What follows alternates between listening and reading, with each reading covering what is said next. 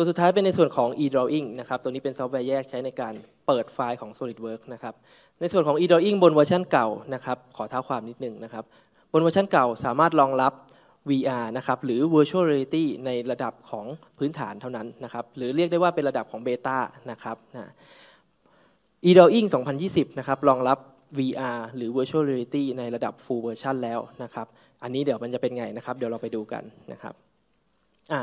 คุณจะเห็นได้ว่ากราฟิกนะครับ อันนี้เป็นเวอร์ชันเก่านะครับ จะเห็นได้ว่ากราฟิกต่างๆ เป็นแบบ basic นะครับ ด้วย VR นะครับ คุณสามารถสวม headset ปุ๊บ แล้วสามารถเข้าไปดูตัวชิ้นงานได้นะครับ แล้วก็จะมีอุปกรณ์ที่เป็น controller นะครับ สามารถที่จะหยิบจับอวัยวะเอ่อหยิบจับตัวอุปกรณ์นะครับ ถ้าเป็นอวัยวะนี่น่าจะเป็น VR อีกแบบนึงแหละนะฮะอ่า e-drawing 2020 นะครับ สามารถที่จะ เปิดไฟล์ของ SolidWorks ได้โดยตรงเลยนะครับ หลังจากนั้นคุณสวมอุปกรณ์ที่เป็น headset เข้าไปนะครับ จะเห็นได้ว่าบนเวอร์ชัน 2020 กราฟิกจะมีการอัปเดตนะครับ สวยงามมากนะครับ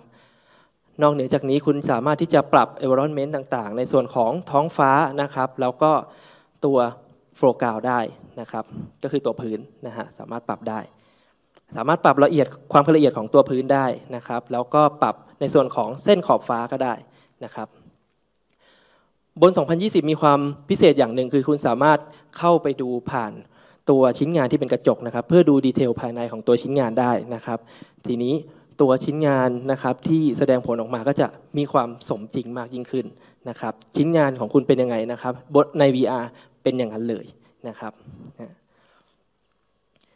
อันนี้ก็จะเป็นในส่วนของ e-drawing 2020นะนะครับด้วย e-drawing 2020นะครับจะสามารถสร้าง ภาพที่มีความเสมือนจริงให้กับตัวชิ้นงานของคุณได้นะครับ อันนี้จะเหมาะมากสำหรับคนที่ทำงานที่เป็นลักษณะเป็นแพลนต่างๆนะครับ สามารถดูดีเทลของตัวชิ้นงานได้นะครับ